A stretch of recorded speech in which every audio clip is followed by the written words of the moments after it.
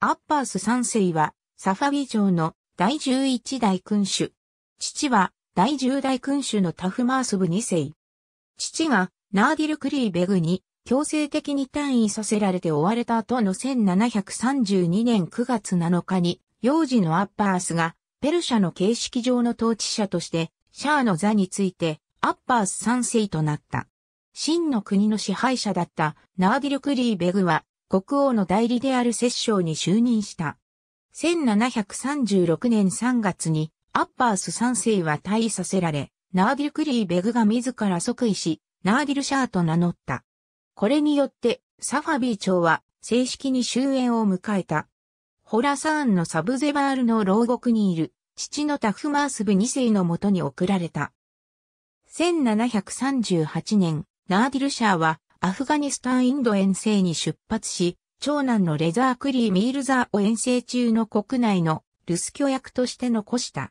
ナーディル・シャーが遠征中に死亡したとの噂が流れて、それを耳にしたレザーは、後継のシャーにつく準備を始めた。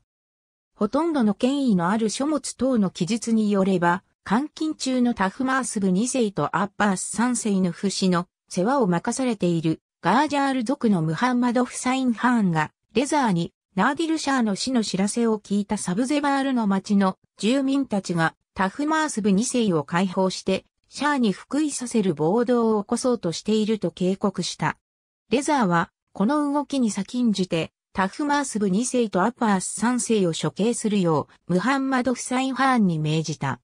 ムハンマド・フサイン・ハーンは、タフマースブ2世を締め殺し、アッパース3世の首を跳ね、兄弟のイスマーイールも殺した。マイケル・アクスワージーによれば、これらの出来事がいつ頃行われたかは推測ではあるが、1739年の5月か6月だとしている。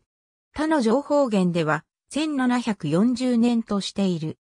アズベーコンターキシー、バック、アスポリクフ、2005、SH63、アックスワーズ P123、アックスワーズ P165 ハットアックスワーズ P220、アックスワーズ P221、エンサイクロペディアイラニカ、アバス3、ロックハート。ありがとうございます。